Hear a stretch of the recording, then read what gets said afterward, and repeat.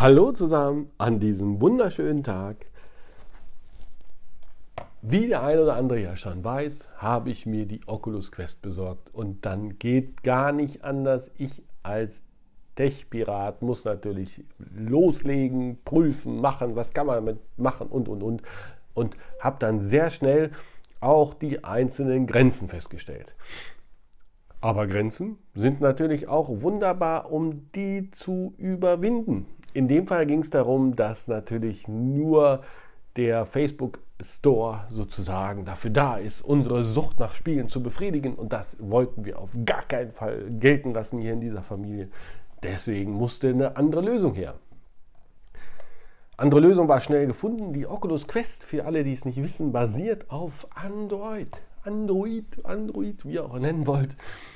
Das ist ja ein Betriebssystem, da gibt es tausende von Entwicklern und, und, und. Die lassen sich dann auch sofort immer was einfallen. Also losgegoogelt, wie kriege ich andere Apps, APKs nennt sich das, auf meine Oculus Quest und musste wie immer feststellen, die Lösung gibt es oftmals nur für Windows. Ich aber als Mac-User und Freund des lieben Mac-Computers Universums oder wie ihr es nennen wollt, war dann aber trotzdem sehr erfreut, als ich feststellte, dass es die sogenannte SideQuest und das ist schon ein Hinweis auf die Funktion quasi daneben, also Side, Side by Side, ne? daneben, neben der Quest äh, auch für Mac gibt als wunderbare Installationsdatei und die auch noch super komfortabel und wahrscheinlich viel komfortabler als bei Windows funktioniert. Und wie das funktioniert, und das ist wirklich pillepalle einfach. Das zeige ich euch jetzt hier in dem Video.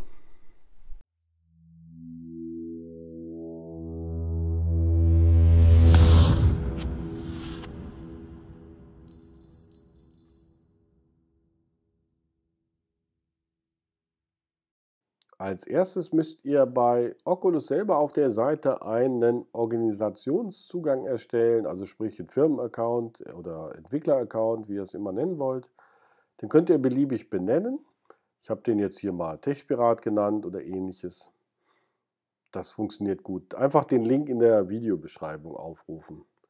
Da ihr ja idealerweise mit eurem Facebook-Account hier schon angemeldet seid, wird äh, diese Information dann auch bis auf die Oculus übertragen, beziehungsweise Oculus, Entschuldigung, übertragen, denn dort habt ihr dann auch mehr Einstellungsmöglichkeiten, beziehungsweise könnt dann äh, euch erfolgreich mit der SideQuest verbinden, wenn ihr diesen Entwickler-Account am Ende auch habt. Von daher ist das hier eine wichtige Aufgabe.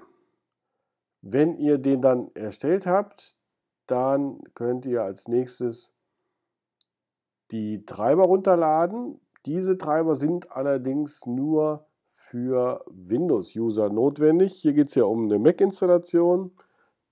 Die Mac-User, die bekommen mit der ähm, äh, Installationsdatei, die wir gleich bekommen von SideQuest, automatisch die Treiber mitgeliefert. Das heißt, hier ist keine separate Installation von Treibern notwendig.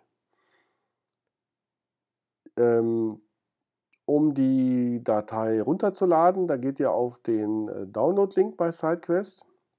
Dort könnt ihr für die äh, Mac OS dann die entsprechende DMG-Datei auswählen, einfach anklicken, dann doppelklicken, so wie ihr es kennt, damit das geöffnet werden kann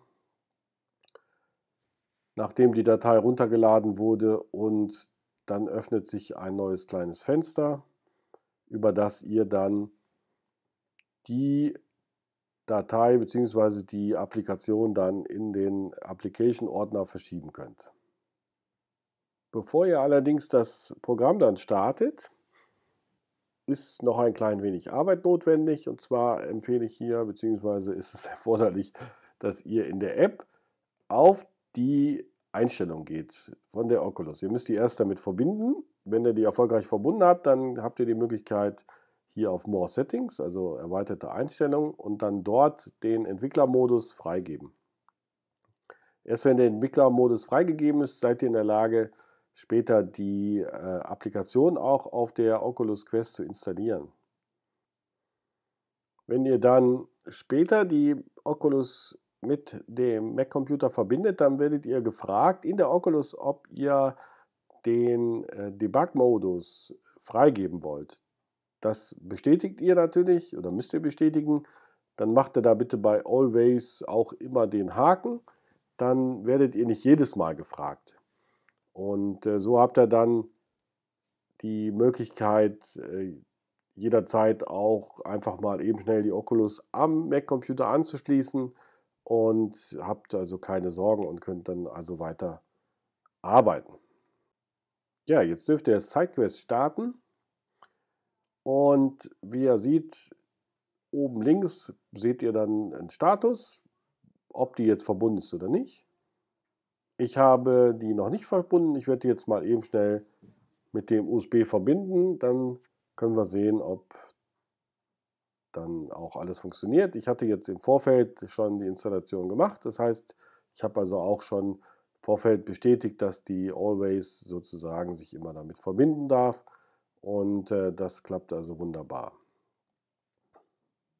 Nachdem ihr erfolgreich verbunden seid mit der Oculus Quest, habt ihr oben dann einen grünen Status, gewechselt von rot auf grün und könnt euch jetzt die Spiele aussuchen, die ihr da installieren wollt. Das klappt sehr komfortabel, wie in jedem anderen Store oder in der Bibliothek auch von Oculus Quest selber. Könnt ihr hier einfach die einzelnen Spiele direkt auswählen und dann auch entsprechend installieren.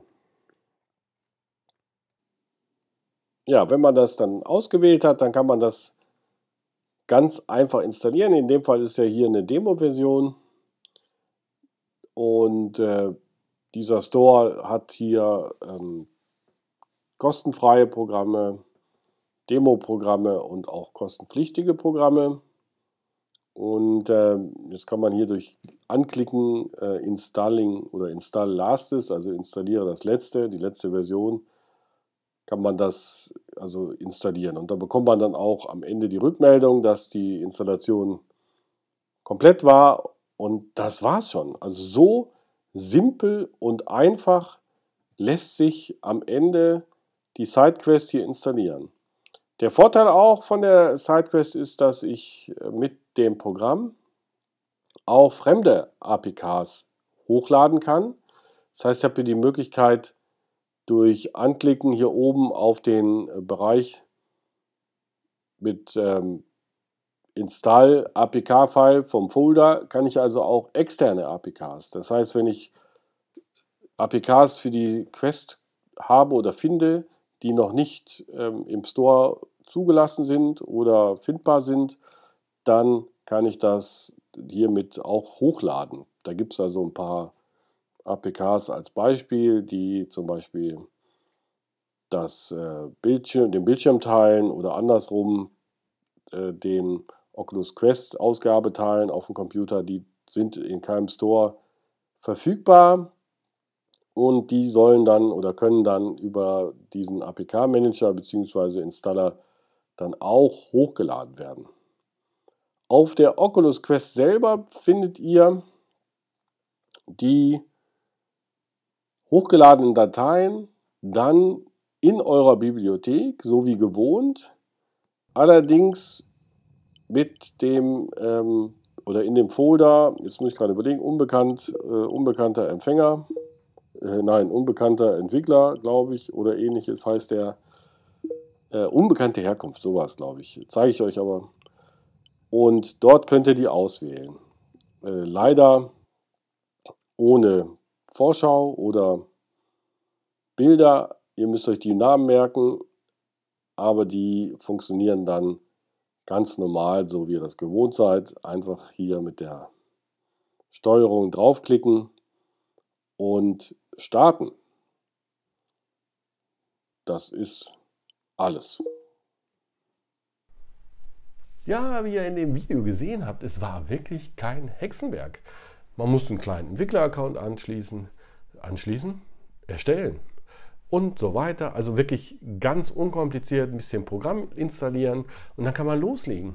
und ich konnte endlich die Spielesucht meiner Tochter befriedigen und Minecraft auf der VR installieren. Einzige Problem ist, wir kommen überhaupt nicht mit der Steuerung klar. Ich muss mir erstmal einen anderen Joystick besorgen. Ich habe den Joystick von der Sony PlayStation angeschlossen, PlayStation 4. Der funktioniert so lala. Also da arbeite ich noch dran. Aber der lässt sich tatsächlich als Bluetooth-Joystick äh, verbinden mit der Oculus Quest. Was es nicht alles gibt. Was für eine fantastische Welt. Muss ich sagen, also diese Errungenschaft der Technik, da lässt mein, lässt mein Herz höher schlagen. Also ich bin sowas von begeistert. Da werdet ihr noch einiges sehen. Ich plane vieles. Lasst euch überraschen. Aber das war es dann schon mit dem Video. Ich hoffe, es hat euch gefallen. Daumen hoch, natürlich wie immer und schön Kommentare drunter schreiben. Gerne schreiben, welche Spiele habt ihr euch denn mit der SideQuest auf die Oculus Quest installiert? Das würde mich echt super mal interessieren. Sicherheitshinweis. In der Android-Welt, Android-Welt, da sind natürlich ganz viele Halodris, Halunken oder wie ihr sie nennen wollt unterwegs. Bitte ladet euch keine APKs von nicht bekannten Quellen runter. Nur vertrauenswürdige Quellen. Seid sehr, sehr vorsichtig. Wie weit jetzt SideQuest vertrauenswürdig ist, kann ich noch gar nicht 100% sagen. Also ich kann nur sagen, dass die zwei, drei Dinger, die ich runtergeladen habe, bis jetzt funktioniert haben. Aber es ist wichtig, immer wichtig, seid vertrauensvoll, ladet nicht irgendeinen Müll runter. Nicht, dass wir nachher ein Virus auf der Oculus Quest haben. Auch interessant. Naja, aber wollen wir nicht haben. Lasst ein Abo da. Bis zum nächsten Mal. Tschüss.